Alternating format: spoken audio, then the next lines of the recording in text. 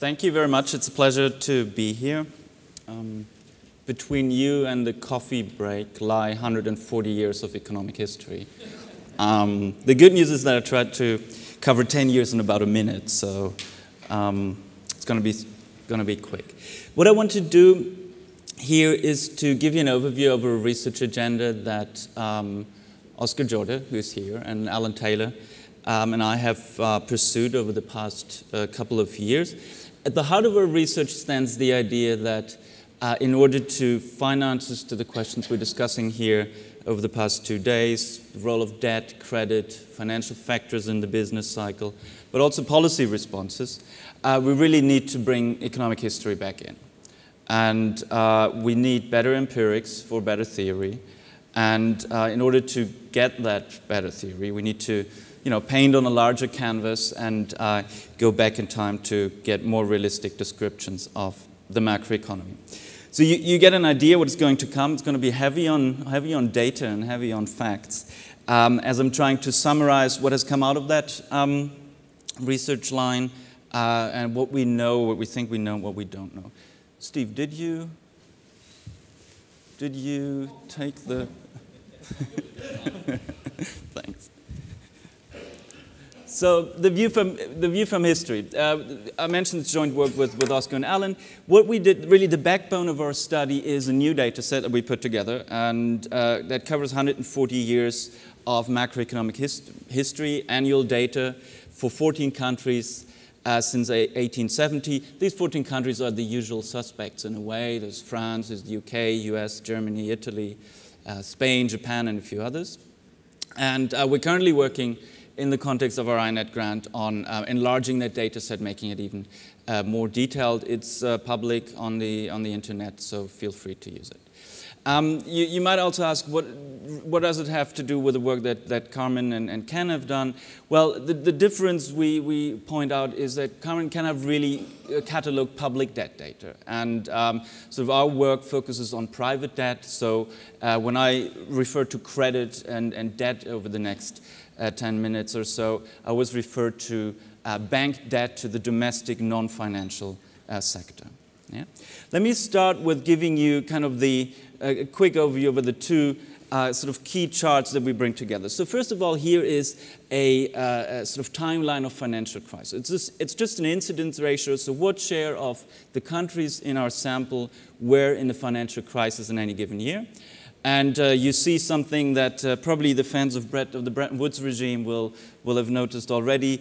Uh, we have a relatively high crisis frequency under the gold standard in the interwar years, and then there is this 25 year period of, of zero crisis, of financial calm, and then here, um, sort of in the last 25 years, um, financial crisis frequency picks up again. You also see that there are five, if you will, five global clusters of crises, one sort of in the 18, early 1870s, um, then in the 1890s, 1907, the Great Depression, and now the Great Recession.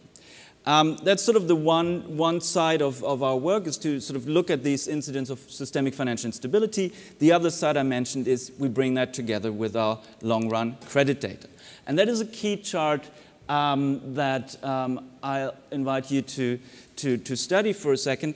It basically tells one eye-catchingly simple story right away, which is uh, from 1870, you see three lines here, bank loans over GDP, that's the blue line, bank assets over GDP, that's the red line, and then the green line is a, a broad monetary aggregate, typically M2. And well, one, the, clear story is we have this massive increase in uh, economy-wide uh, leverage or debt levels in the past uh, 30, 40 years to historically unprecedented levels. But there also is a sort of slightly more nuanced, more subtle uh, story in the sense that before, sort of until, nine, until the Second World War, you see that these ag aggregates move very closely. They really move closely together. It's uh, closely correlated. And uh, we think that's really sort of the world that, that Milton Friedman, and Anna Schwartz described. That's your classical monetarist view where uh, bank liabilities and bank assets move together, where possibly central banks can even steer uh, bank, uh, bank uh, assets by, by steering uh, sort of liabilities, steering the money side. But then these relationships break down after World War II, and credit and money decouple. Yeah? And then there's an argument that will may, might have uh, later. What is really the timing? Is that, is that already sort of the post uh, World War II immediate period, or is that when Bretton Woods breaks down? But credit and money decouple in the second half of the 20th century. And a very, a very odd thing happens in the past 20 years, namely that the credit aggregate sort of cuts through the money aggregate, um, which uh, reflects the rise of uh, non monetary financing uh, of the banking system. So, wholesale funding um, and, and other forms of non monetary liabilities that the banks use to uh, fund uh, credit. The, um, looking at these two, the, the crisis incidents and, and the, the long run credit data, looking at them together, what are the key points I can make today, or we, we find in our research? Well, first, crises are typically credit booms gone bust. This is not an entirely new story, uh, although we sort of uh, probably the first to document this using these long run data. Bill White sits there and together with Claudio Borio um, you've done empirical work on that. Others have worked on that as well. But I think there is now, on the basis of these long run data, relatively sound and clear evidence that crises can be viewed as, as credit booms gone bust, and I'll show you why in a second. Second, we show that, we find that the policy responses, both monetary and fiscal, to financial crises have changed markedly. And I'll show you, I'll show you, we'll become much more activist, and I'll show you in a chart how. Third point is uh, what we think of um, in our latest paper as a new stylized fact of the modern business cycle. Namely, we call that credit bites back. Um, more credit intensive booms, more credit intensive upswings, expansions of the business cycle tend to be followed by more severe recessions. Um, and that is true whether you speak of a normal recession without any incidents of financial instability or whether you speak, and it's, more, it's, it's even stronger uh, when the recession coincides with the financial crisis. And I'll show you some evidence uh, for that as well. And the last point is I make some tentative, really tentative conclusion about the remedies because, um, well, I think, uh, Oscar, that's, we're not that far yet that we can avoid financial crisis. So, crisis is credit booms gone bust. Um, acceleration of credit growth is the best early warning signal for crises. Um, in, in, put differently, we have a good idea about the proximate causes of financial crises, credit growth and acceleration of, of, uh, of, of, of, lending. Um, we have not the same understanding of the fundamental cause, i.e., why does credit growth all of a sudden accelerate? So there might be a role for monetary policy, might have to do with capital flows, um, but sort of on a, if, if, you, if you maybe the best comparison is sort of with a weather forecast. Yeah, we, we, we see the storm brewing. We don't have a good idea what causes the storm, but we see the storm brewing and approaching the, uh, the coastline. Um, we also find in, in, a, in, a, paper that we did last year that, um, kind of contrary to conventional wisdom, I might say, the role of current account balances is less clear cut, at least for our sample of 14 countries here that does not include any emerging markets. Um, and um, sort of the conclusion overall that we take from that in terms of policy is that a central bank that follows a policy rule that does not uh, you know, um, pay attention to credit uh, misses information that kind of systematically helps to tell you what will happen to your economy down the road. This is um, enough. Um, this is uh, credit to GDP for the UK in the last 130 years in this case, and it shows you that pattern of credit boom followed by a crisis, the gray bars being the years in which the UK economy experienced a systemic financial crisis. If I, had a, if I had a point I could show you, you see the run up, especially in the second half of the 20th century, run up in credit, boom, crisis, then next credit boom, crisis, followed by next credit boom. If you put that for 14 countries over these 140 years in a regression framework, you get, I'm not going to uh, bore you with the results, but you get very significant and, and strong indications that uh, you can exploit that information about accelerations of credit growth to predict um, financial crisis down the road. Um, we also, and that's why you have three columns there, if you do the same, because the ECB often says, yeah, that's why we have this monetary pillar. So we tested um, whether money works as well as credit, and the answer is clearly no if you want to have that sort of financial stability um, um, um, objective as a central bank, you probably want to look at credit aggregates and not at monetary aggregates. Um, so now I say, okay, we can predict financial crisis. You say, yeah, that's not possible. Well, of course, it's never precise. But um, if you put yourself in the position of a policymaker, you can ask so how much, using that model, using information about credit and money trend, or especially credit trends in the economy, um, how good how does my does my oops, does my forecasting ability uh, outperform a simple coin toss and that's what this chart does the green line basically gives you uh, gives you the coin toss so yeah, it's going to be crisis or no yes or no you just throw a coin and if you use the model in, in the case of the um, of the green greenish the model one uh, this is a pure credit model um, you outperform that coin toss significantly. There is predictive ability uh, that you can exploit. Um, there are three lines here. The th kind of thickish blue line is a model that doesn't only look at credit, but also integrates current account deficits, current account balances. And um, as you can see, it improves, it improves sort of the overall predictive ability of the model a little bit, but not an awful lot. So um, sort of we, we came away thinking credit is really the dominant variable you want to watch. Policy responses, I'll be short on that.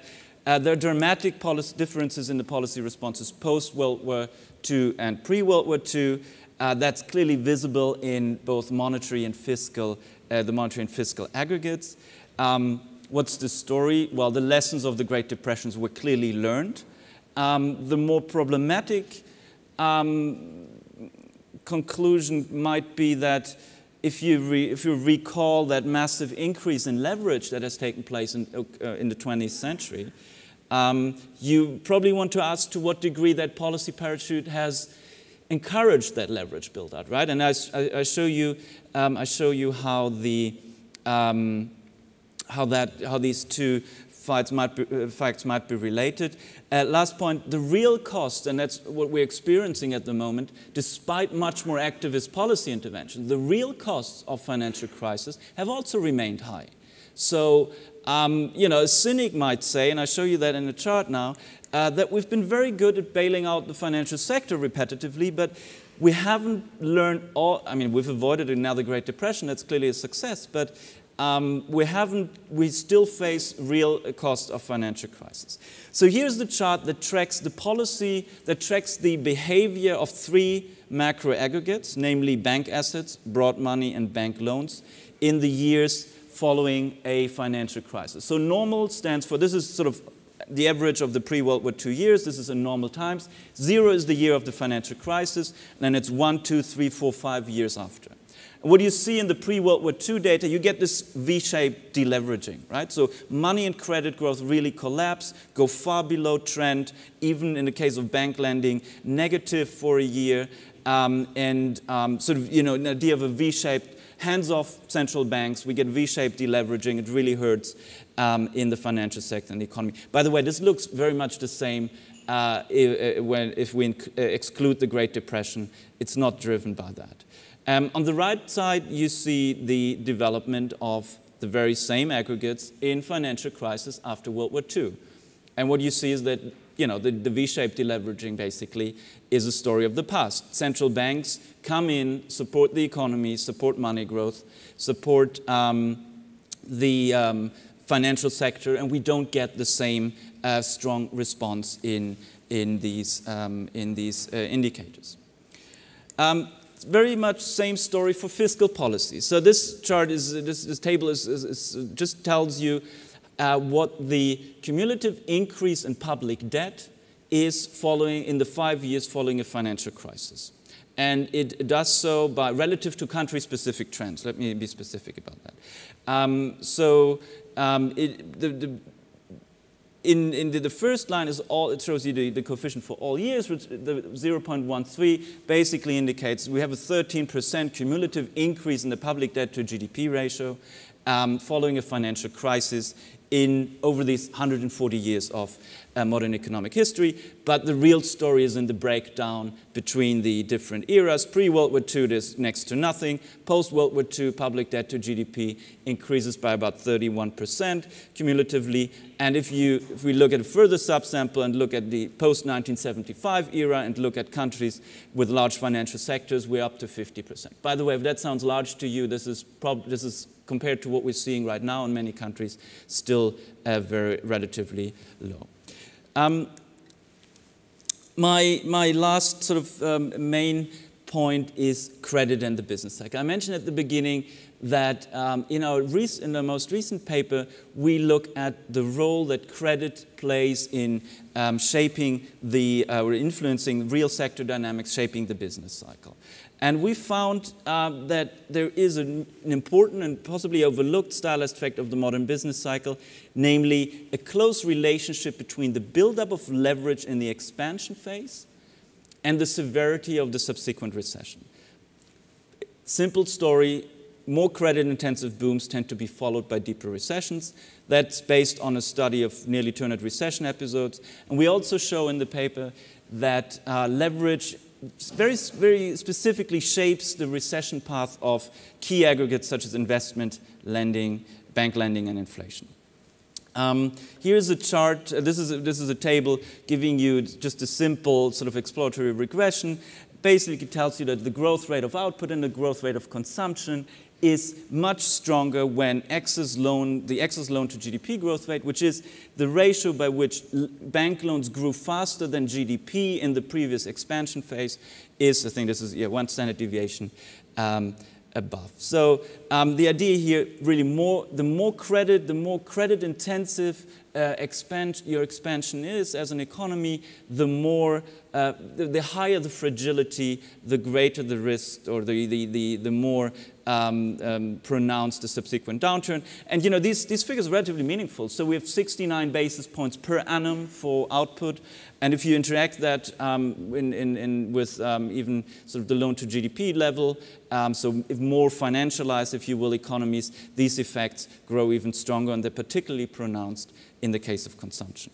Um, little, little more detail here. This is, I'm not going to go um, exact, but this is, this is basically a chart that shows you how um, a, as an experiment when sort of leverage grew in the expansion phase by 10% more than, than the mean. So we sort of run an experiment and say, okay, what happens to uh, these economic um, um, data, to the economic aggregates, like here real GDP, investment to GDP, and real private loans, when the recession is not a normal recession where everything is uh, just the average, but when it's a sort of a leveraged recession. And our experiment is your 10% excess um, um, loan growth in the previous expansion. And you can see that both in normal recessions, that's the red line, and, and, but more pronounced in financial recessions, leverage really makes things worse. And the impact comes both through investment to GDPs, though investment is depressed for a long time, and in financial crisis recessions, it's particularly through the lending behavior of the um, banking sector.